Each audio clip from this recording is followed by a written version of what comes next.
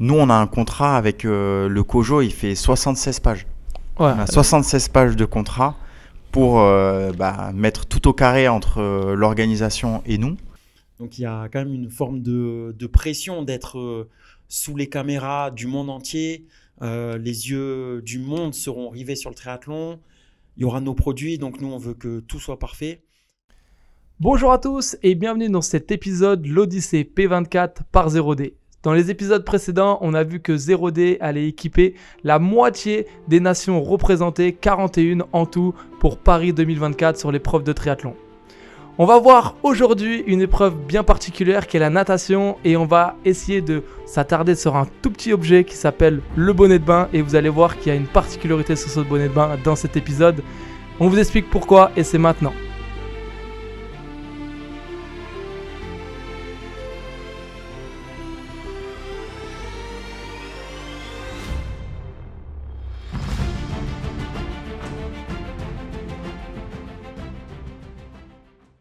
Bonjour les gars. Hello. Salut. Bonjour Pierre, bonjour Fred.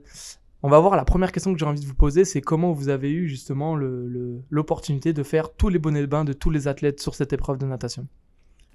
Bah en fait, euh, on a démarré avec ce bonnet, qui est euh, un bonnet que les athlètes utilisent depuis maintenant trois années. Ça, c'est le bonnet euh, qui est utilisé par tous les athlètes sur les World Triathlon Championship Series, qui sont en fait les les étapes de Coupe du Monde. Et euh, on a commencé le partenariat avec World Triathlon. Donc World Triathlon, c'est le nom de euh, la Fédération internationale de triathlon. Et on a démarré un partenariat avec eux sur les bonnets des athlètes sur les étapes de Coupe du Monde. Et à l'issue des, euh, à l'approche des Jeux Olympiques, on a commencé les discussions en format tripartite, c'est-à-dire World Triathlon, 0D et le comité d'organisation olympique. Et c'est comme ça qu'on a réussi à démarrer euh, l'aventure euh, olympique euh, pour les bonnets de bain. Et on va passer bah, de ce bonnet de bain à celui-là pour Paris 2024. Et comment on a fait ça? C'est un petit peu au gré des différentes années et d'expérience avec 0D. On a eu un athlète notamment qu'on a sponsorisé euh, il y a de ça euh, presque dix années qui s'appelle Chris Gemel et qui désormais travaille dans les instances euh, de World Triathlon. Et c'est grâce à ce biais-là qu'on a pu commencer de rentrer en contact avec des gens de World Triathlon et à pouvoir commencer de discuter d'un partenariat entre 0D et la Fédération internationale. Et donc on a démarré comme ceci. Et à l'approche des, Jeux Olympiques, euh, il y a un produit sur lequel il y avait euh, un souci pour l'organisateur et il avait besoin que World Triathlon valide vraiment un produit et une caractéristique spécifique sur le bonnet de bain. Et ce produit-là ne fait pas partie euh, des produits que le comité olympique était capable de faire. Et c'est comme ça qu'on a réussi à démarrer l'aventure euh, olympique sur le bonnet de bain. Qu'est-ce que ça représente justement pour vous d'être le fournisseur officiel de bonnets sur l'épreuve de natation en particulier? Ah, Je pense que c'est une, euh, une, grande fierté. Euh, ça a l'air d'un petit produit anodin comme ça, mais il va être quand même porté par tous les athlètes. il va y avoir de superbes images au moment de, du départ, puisque tous les, tous les athlètes vont être alignés sur le ponton. Euh, ça va euh, octroyer une belle visibilité pour la marque. Et voilà, nous, en tant que, TPE euh, française, on est super fiers de, graver ça un peu dans l'histoire du, triathlon et dans l'histoire de l'olympisme, d'apporter notre contribution à l'organisation. Donc, un petit produit, mais je pense avec un, un bel impact visuel en tout cas, et aussi, c'est, euh, je pense, euh, il y a une valeur sentimentale en fait. Euh, moi, je suis pas du genre à garder mes trophées mes médailles, mais il y a un truc que je garde, c'est les bonnets, mes bonnets de course. Donc j'ai par exemple mon premier bonnet de mes premiers championnats du monde, championnat du monde junior à Edmonton, je crois que c'est 2001, mais je l'ai encore. Et, et voilà, c'est un, c'est un produit que, que tous les athlètes vont garder avec eux, peut-être qu'ils vont partager avec leur famille. Donc, euh, ouais, Ouais, très pour grande, vous, c'est vraiment un symbole, euh, symbole important. J'ai cru comprendre qu'il y allait avoir plusieurs bonnets de bain par athlète. Et euh, j'aimerais, Fred, que tu reviennes un petit peu dessus. Combien il y a de bonnets de bain par athlète? Alors le COJO, donc la, le comité d'organisation des Jeux Olympiques, prévoit deux bonnets par athlète. Donc chaque athlète recevra deux fois son numéro.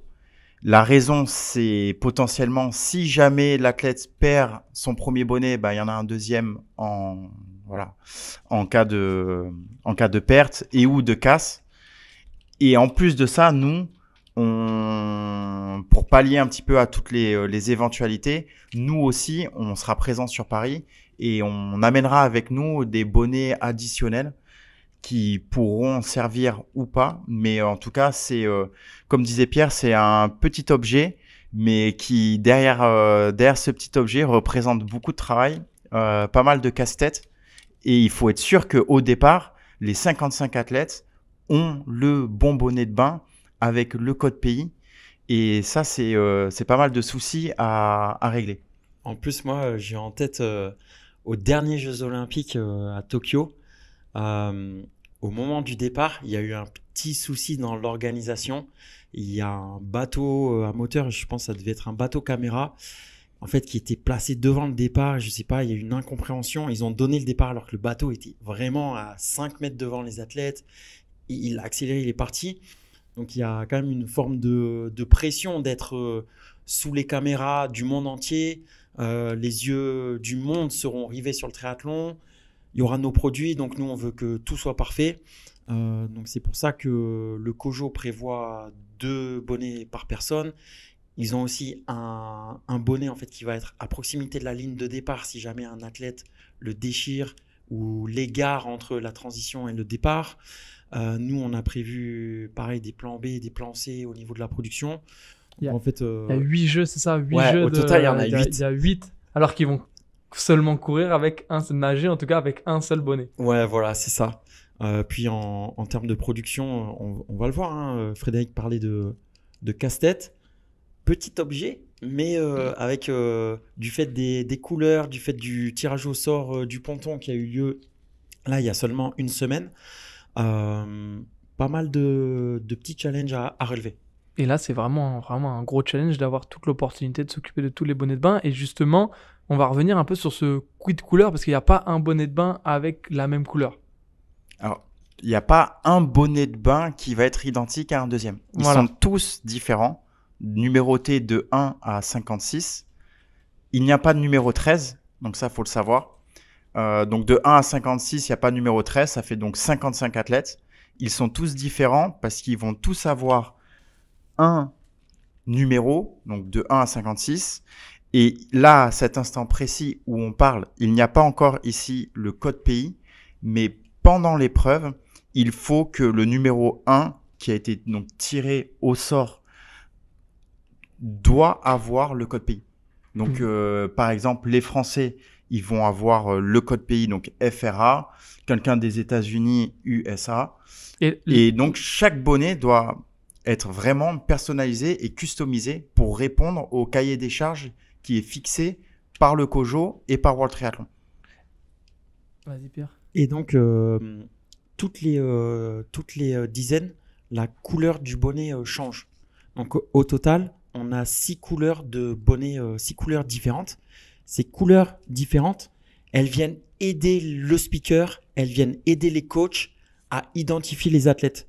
Euh, quand tous les athlètes vont être dans l'eau, ça va, hum, ça va bagarrer entre guillemets. En tout cas, c'est très délicat de reconnaître euh, un numéro 1 ou un numéro 7 quand on est euh, ne serait-ce que sur les bords de la Seine. Et, euh, et du coup, en fait, les, les codes couleurs des pays vont, les codes couleurs des bonnets vont aider à l'identification des athlètes. Par exemple, on sait que les hommes, les Français, on sera en couleur rouge ou bleu. Rouge. Rouge les hommes, Bleu les femmes. bleu les femmes. Et effectivement, ça aide énormément puisqu'on donc là il y a un tirage au sort qui est effectué par World Triathlon et grâce au tirage au sort, on sait que le numéro 1 ça va être quelqu'un d'Azerbaïdjan, un homme et il va avoir la couleur jaune. Donc au loin, on peut facilement identifier grâce à la couleur du bonnet au numéro et au code pays, ça permet très facilement de reconnaître euh, euh, tel ou tel nageur et d'avoir un peu plus d'informations euh, au fil de la course pour la partie natation. Et là, Pierre, tu as pris un bonnet un peu euh, spécifique qui lui est un bonnet euh, rose. Alors, je, je connais un peu justement l'histoire de ce bonnet, mais euh, bah, explique-nous un peu ce- qu'est-ce- Alors, quelle particularité a ce bonnet? Ça, c'est le bonnet euh, tout le monde se demande s'il va avoir l'eau ou pas. Euh, ça, c'est le bonnet qui va servir exclusivement au, au repérage de la natation. Donc, en amont de la course, euh, il y a un créneau qui est prévu euh, par l'organisation pour que les athlètes puissent reconnaître le parcours natation. Euh, donc, on va rappeler hein, dans la Seine, euh, pont euh, Alexandre III, euh, deux tours, deux boucles euh, de longueur euh, un petit peu différente. Euh, au total, 1500 mètres de natation à réaliser en aller-retour. Et donc ce bonnet, il va servir uniquement sur, euh, sur ces repérages-là, euh, avec, euh, voilà, on, on- pense que peu d'athlètes, euh, voire pas d'athlètes, iront tester l'eau, euh, mais peut-être plutôt des coachs, euh, des gens de la DTN.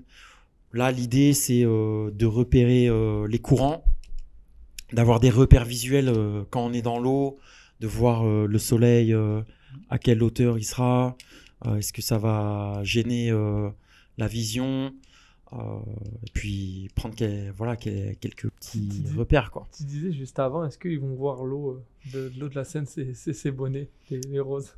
Ouais, ouais, là, c'est encore. euh, on est à, au moment où on tourne, on est à un petit peu plus de deux semaines Mm, mm. de la course. Et vous avez des infos là-dessus ou pas? On a des infos. euh, moi, je pense que je pense que la course euh, aura lieu comme elle est prévue. euh, natation dans la Seine. Les triathlètes, on va le dire, c'est super important. Les triathlètes n'ont pas peur d'aller nager dans la Seine. Euh, c'est plutôt le grand public hein, qui se préoccupe Mhm. de, de la santé des athlètes. Nous, en tant qu'anciens triathlètes pro, euh, voilà, on a nagé euh, dans des eaux troubles. Euh, on est loin d'être les seuls. Il y a aussi beaucoup d'amateurs qui courent dans des eaux troubles. Voilà, je disais, le repérage, je pense que les athlètes pros vont pas prendre le risque, effectivement, d'aller 3-4 jours avant la course. ils vont pas prendre le risque d'aller dans la Seine. Donc ces bonnets roses sont faits un peu pour les entraîneurs, pour euh, qui va nager à la place des athlètes. Non, à la base, ils sont vraiment faits Oui. Mais pour les ce que athlètes. J'ai cru comprendre, c'est que Mais voilà, les comme, athlètes. comme on le disait, euh, il y a certains athlètes, et où la plupart et la grande majorité, qui ne vont certainement pas prendre le risque de nager quelques jours avant la course. Et donc, euh, bah, ils seront transférés euh, au coach qui pourra y aller à leur place. Mais non, à la base, c'est vraiment pour les athlètes. Ils reçoivent dans leur package, ils vont recevoir euh, deux bonnets comme ceci et deux bonnets avec leur numéro. Et euh, donc, dans l'ordre des choses, sur la, voilà, sur la partie euh, repérage, ça sera ce bonnet-là. Et le jour de la course, ils sortiront le bonnet avec leur numéro, leur code pays. Et ça, ça sera vraiment pour la course. Où on enregistre actuellement, je crois qu'on est à J-12 des JO, en tout cas de la cérémonie d'ouverture, mais un peu plus de, de, de, de l'épreuve de triathlon. Donc euh, la vôtre en l'occurrence, hein, parce que quand on va regarder la télé, ça va être 0D qu'on va regarder, parce que les bonnets, ça va, être, ça va être vous. Et comme tu l'as dit, pour une TPE française, je trouve ça incroyable, surtout à Paris.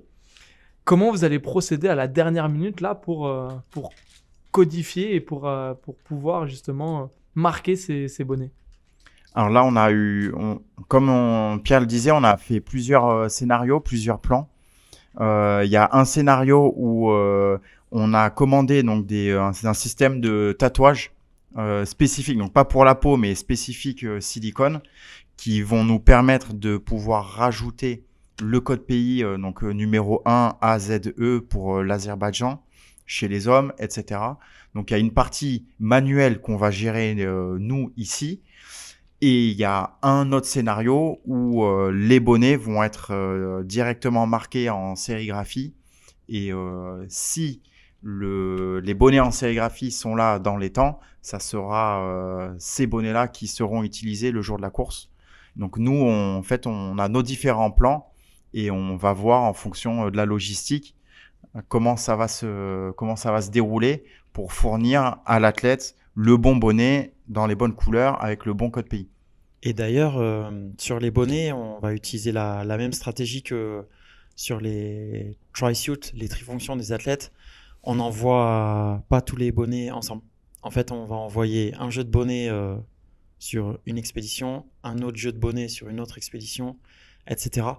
Parce que si jamais il y a un souci de transport, souci, ouais. euh, imaginons un, le camion brûle, bah, au moins il y a d'autres bonnets dans un autre dans un autre dans un autre véhicule. Donc euh, là c'est vraiment une stratégie euh, où on essaye d'identifier tous les risques, à la fois les risques de retard et puis les presque les risques qui ont très peu de chances d'arriver, mais si jamais euh, cette occurrence se produisait, il y a le plan B, plan C, etc.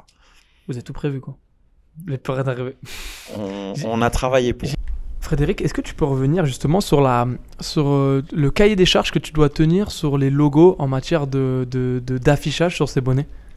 Alors oui, c'est vraiment hyper réglementé sur euh, les dimensions des différents logos et sur les quantités de logos euh, où doit apparaître donc, euh, le numéro. Donc le numéro doit apparaître de chaque côté du bonnet. Il y a les anneaux olympiques aussi qui apparaissent de chaque côté du bonnet. Le numéro, ça a l'air tout bête, mais ça, c'est la police d'écriture de Paris 2024. Donc, c'est-à-dire que Paris 2024, ils ont une charte graphique. Ils nous envoient la charte graphique. Il faut qu'on reprenne les polices d'écriture de Paris 2024. Le code pays, qui pour le moment n'est pas encore affiché ici, a une certaine dimension aussi à être respecté et doit être dans la police d'écriture de Paris 2024. Nous, on a un contrat avec euh, le COJO, il fait 76 pages. Ouais. On a 76 pages de contrat pour euh, bah, mettre tout au carré entre euh, l'organisation et nous. Et donc, à l'intérieur de ça, on va y retrouver bah, ce que je viens d'expliquer, les différentes règles. Chose toute bête, je ne sais pas si tu as remarqué, mais le bonnet, il est asymétrique. Donc, nous, le logo 0D, on l'a que d'un seul côté. Ça, c'est pareil, c'est tout bête, mais c'est. Moi, j'ai échangé des dizaines d'emails à ce sujet pour leur expliquer qu'on pouvait éventuellement faire un, logo plus petit, mais le mettre des deux côtés. Mais ça, c'est interdit dans justement euh, cette charte. On n'a pas le droit de faire ça. Donc, le bonnet est asymétrique. Donc, en fonction du, du choix de l'athlète et de l'orientation de la caméra, euh, il pourrait être visible ou non donc ça, voilà, c'est plein de petites choses. On, en reparlait euh, tout à l'heure. Euh, c'est un petit objet, mais c'est hyper réglementé et c'est énormément de travail sur euh, les dispositions, les tailles, les polices d'écriture, etc. J'ai une question. Moi aussi, j'ai une question. Frédéric, toi, tu le mettrais dans quel sens du coup? Moi, je le mettrais dans ce sens-là. Ouais, comme moi. Donc, le, le, logo sera. Ouais. Le logo, je l'aurais mis ici. Je l'aurais mis devant, mais bon, après, nous, c'est parce non, que c'est 0D. Mais... Non, mais tu sais pourquoi aussi? Parce que tout simplement, en fait, euh, les athlètes, ils vont tourner sur leur gauche. Donc en fait. Euh, mais tu as le numéro des deux côtés, de toute manière. Ouais, mais là, tu vois, il est... de ce côté, euh, il va être à l'arrière de ma tête. Alors que de ce côté, il va être à l'avant de ma tête. Donc en fait, ça va être plus beau. mais t'auras pareil être... aussi. il sera devant toi. Ah ouais, aussi. Il sera devant non, mais toi. Moi, je le mettrai de ce côté, tu vois. Okay. Est-ce que vous allez faire une série pour les particuliers? Alors, euh, c'est une super question. Le, le fait qu'il y ait euh, le logo 0D avec les anneaux, ça c'est. On n'a pas le droit de commercialiser des produits comme ça. Une fois de plus, euh, les normes, les réglementations font que ça, on n'a pas le droit. Par contre, on a prévu un bonnet euh, spécial euh, Paris 2024 sur euh, une capsule, un univers vraiment spécifique et dédié aux Jeux Olympiques et donc à Paris. C'est une excellente transition justement pour passer et pour promouvoir en fait l'épisode prochain où là, dans le prochain épisode, on va parler un peu de cette capsule de 0D pour P24 et j'espère que cet épisode vous a plu. on attend le jour J avec impatience pour voir ces bonnets de bain et pour voir tous les athlètes avec cette marque 0D. Je pense que vous allez avoir encore plus de, d'envie de, d'être derrière ces athlètes. On se retrouve pour le prochain épisode, l'équipe. Ciao. Et voilà, on a créé euh, cette capsule euh, pour euh, rendre hommage et puis laisser une, une trace dans l'histoire de 0D avec des produits qui sont en Alors des quantités vraiment très faibles et des, des clins d'œil euh, remplis de clins d'œil euh, Mhm. au triathlon et aux Jeux Olympiques. Sur euh, un t-shirt oversize comme porte-pierre, seulement 55 exemplaires.